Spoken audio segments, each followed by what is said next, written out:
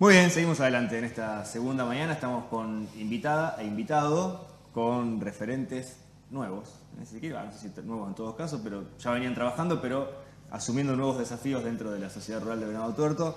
Noelia Castañani, que es la flamante presidenta, primera mujer en asumir este lugar. ¿Cómo te va? Buen día. Muy bien, buen día. ¿Cómo va? Muy bien, felicitaciones antes que nada. Bueno, gracias. Y Marco Rodríguez Laite, que también vocal, parte de la conducción de, de la nueva conducción de Sociedad Rural apoyando y acompañando esto, este desafío nuevo. Bueno, antes que nada, Noelia, ¿qué significa asumir este, este lugar? Porque bueno, viene cargado de un simbolismo muy importante, ¿no? es solamente renovación de autoridades, no es solamente cambio de presidente, sino la presencia femenina por primera vez en un lugar tan trascendente. Eh, sí, bueno, después de 85 años. Ni más ni menos, ¿no? Eh, igual lo que yo siempre recalco, que en la comisión, ya hace como 10 años, si no corregí Marquitos, más o menos, ya estuvo la primera mujer integrando la comisión, o sea que como que se le viene dando ese espacio a la mujer ya, ya hace bastante tiempo, que está bueno, y bueno, eh, este año me tocó a mí asumir la presidencia, eh, que bueno, también acepté el desafío porque tengo atrás un grupo muy lindo y compañero, así que bueno, a meterle para adelante ahora. ¿Ya venías trabajando dentro de Sociedad Rural? ¿Ya estaba? Eh, hacía dos años que estaba en la comisión eh, y tuve un periodo medio light en, el Ateneo, en más o menos alrededor de 2007, por ahí. Bien. ¿Y cómo se dio este, este, proceso para que, bueno, para que haya consenso de que este, seas la, nueva presidenta? Eh, bueno, primero te propone alguien, después eh, vos vas hablando con la gente de la comisión, todos estuvieron de acuerdo, con cada uno que hablé me, me brindó su apoyo, que eso también lo que me llevó a tomar la decisión de, aceptar.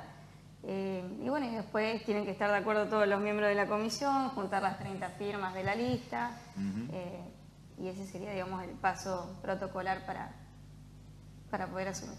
Bien, y más allá de lo protocolar, Marcos, también hay una cuestión de, convicción interna, ¿no? De dar un paso importante. Sí, eh, se venía hablando ya hacia, bueno, el año pasado ya se empezó a analizar y la verdad que que bueno, cuando se tiró la idea fue casi eh, un mutuo acuerdo de todo, así que la verdad que, vino bien que ella haya aceptado, porque tampoco era fácil de convencer. Bueno, te convencieron rápido. sí. Bueno, y, ahora también viene el desafío, bueno, lo charlamos fuera del micrófono, ¿no? solamente sos mujer, sino que además muy joven, digo, ¿no? También esto también es otro sello característico en, tu, en tu designación, lo cual inevitablemente le va a dar otra impronta a la conducción, digo, ni mejor ni peor que lo demás, digo, pero distinta, eso es indudable.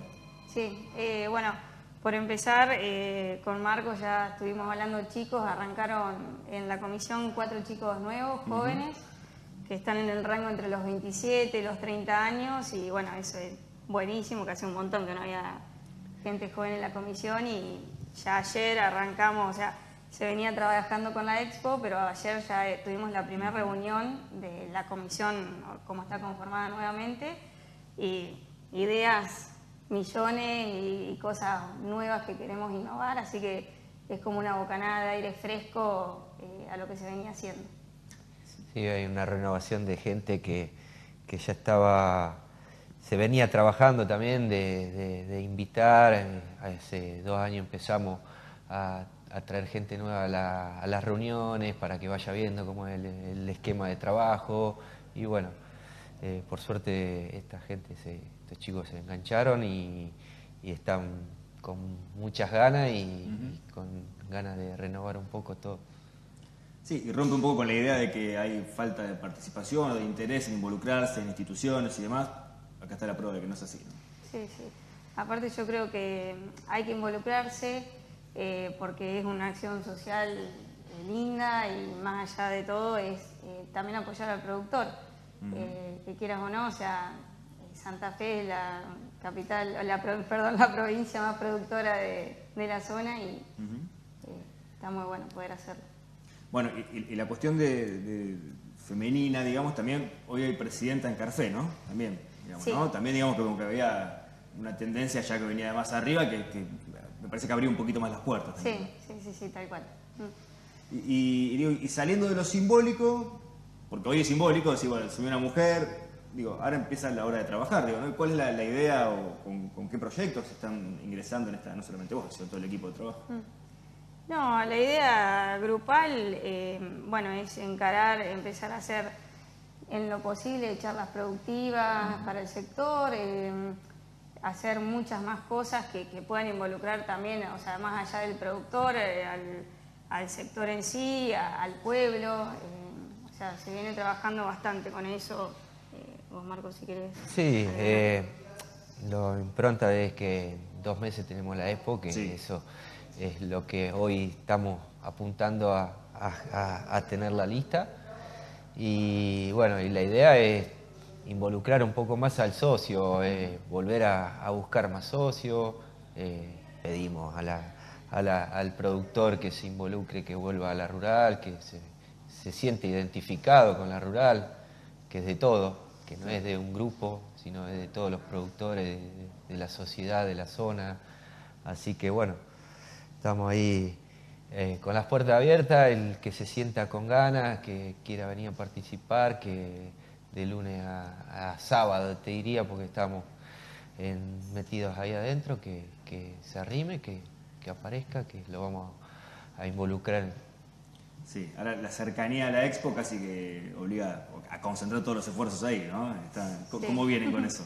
está a la vuelta de la esquina casi. Sí, ayer estuvimos casi todo el día, hoy toda la mañana, eh, así que sí, venimos muy firmes eh, y sí, falta poquito tiempo, así que bueno, ya ultimando detalles y ya dentro de poquito vamos a estar haciendo el lanzamiento, que todavía no tenemos una fecha definida, eh, pero bueno, ya se van a estar enterando dentro de poquito. Bueno, además, bueno, esto que, marcaban, digo, ¿no? el desafío de, una institución con tanta tradición en la, ciudad eh, y que no solamente se queda en su ámbito específico, que, obviamente lo aborda, pero también es, claramente la generadora del evento más popular de la ciudad, digamos, ¿no? junto al municipio, asociado, lo que sea, pero digo, es la sociedad rural la que genera el evento más popular, digamos. Eso también hay que sostenerlo y hay como un desafío permanente de seguir creciendo. ¿no? Sí, sí, y el desafío, bueno, Marquito no me va a dejar mentir, este año, viste que, o sea, es un año complicado, para el campo también fue... Con muchos factores, la sequía, año electoral, un montón. O sea, arrasó al campo y a toda la sociedad en sí.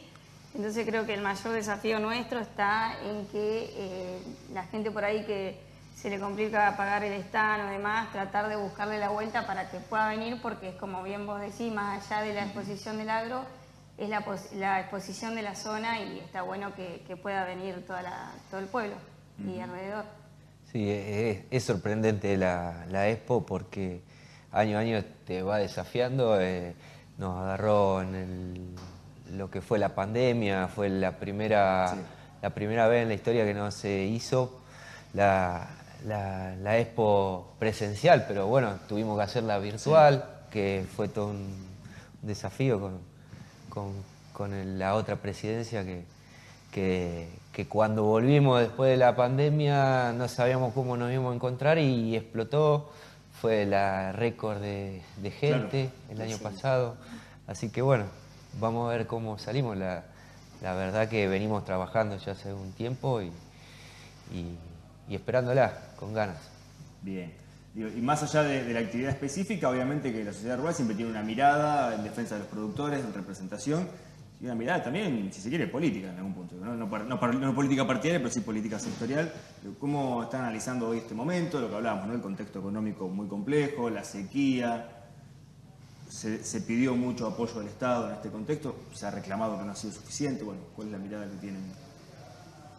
No, la mirada es eh, que, bueno, o sea, las medidas que se han tomado eh, no fueron por ahí lo suficientemente acordes a la situación. Eh, siempre había una letra chica o algo que te terminaba haciendo no poder tomar ese recurso que, se brindaba. Entonces yo creo que, fueron medidas que no, no, ayudaron para nada al productor.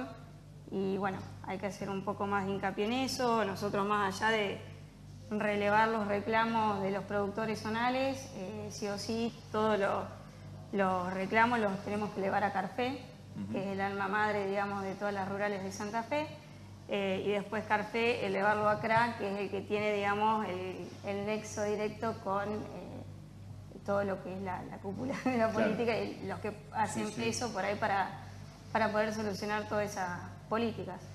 Pero bueno, ojalá que, el nuevo gobierno que asuma, sea el color que sea, que, que tire tanto para el campo como para la sociedad en sí, que, creo que estamos todos eh, pasándolo un poco mal.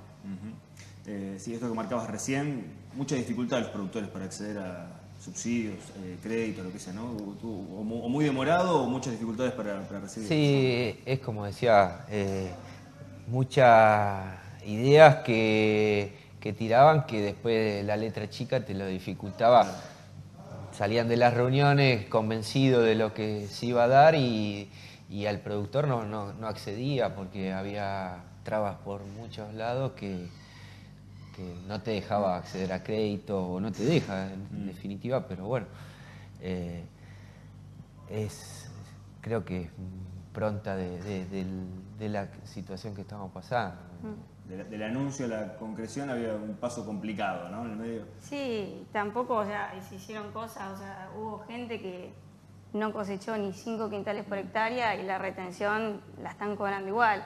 Entonces yo creo que es injusto por ahí, por el lado que lo mires, como que no se abordó con la seriedad que se tenía que abordar por la situación especial que se vivió este año. Eh, yo creo, o sea, que ahí habría que hacer un poquito más de, de mejoras y de hincapié. Sí, las pérdidas para algunos productores fueron muy importantes. Sí. Y ahora la lluvia, que cambió un poco la perspectiva con la lluvia que tuvimos, todavía estamos ahí. Más o menos. Eh, hay zonas que sí, hay zonas que llovió mucho, eh, o bien, digamos. Eh, en nuestra zona estamos, pareciera que hubiese llovido, lo, único que fue fue un temporal largo que en milímetros no sumó, habrá sumado unos 35, 40, 20. para lo que fue la sequía histórica, esto mm. no, alcanza. No alcanza, alcanza como para animarte y esperar. Esperemos que siga, que se acomode, porque hay mucha gente que también volvió a arriesgar por la necesidad. El productor es de apostar, de seguir, e involucrarse siempre en lo que uno sabe. Entonces, no especula como se sabe decir. Entonces ellos siempre van a ir a, buscar la forma de salir adelante, con ayuda, sin ayuda, pero siempre van a apostar.